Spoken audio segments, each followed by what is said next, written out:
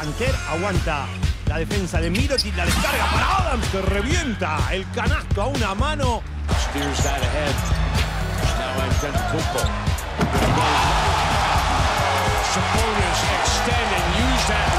A Harden que penetra, va contra el canasto, 2 y 1.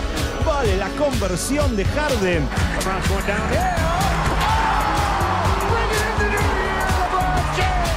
Ya va Smart con el tiro a distancia. Lauri, canasto pasado, buena definición con mano izquierda. Loose ball taken by Henderson.